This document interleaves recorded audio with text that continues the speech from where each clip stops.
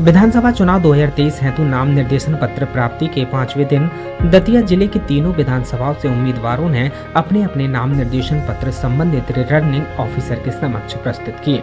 भारत निर्वाचन आयोग द्वारा विधानसभा निर्वाचन हेतु जारी कार्यक्रम के तहत दतिया ज़िले के स्योड़ा विधानसभा क्षेत्र बीस से आज़ाद समाज पार्टी कांसीराम के उम्मीदवार के रूप में दामोदर सिंह यादव ने अपना नाम निर्देशन पत्र न्यू कलेक्ट्रेट पहुंचकर रिटर्निंग ऑफिसर स्योड़ा श्रीमती प्रतिज्ञा शर्मा के समक्ष प्रस्तुत किया।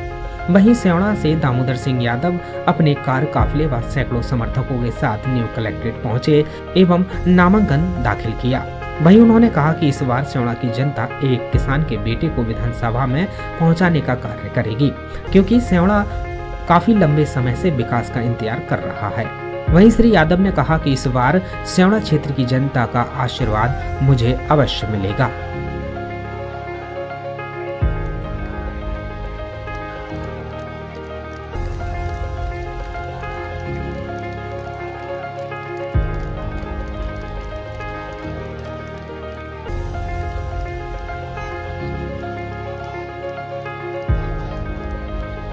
दतिया से यूडी न्यूज़ के लिए विनोद कुशवाहा की रिपोर्ट।